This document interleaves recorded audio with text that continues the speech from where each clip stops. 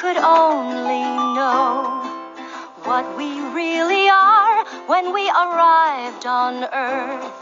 From out beyond your star, we were amazed to find your beauty and your worth, and we will protect your kind. And we will protect your earth, and we will protect your earth, and we will protect you.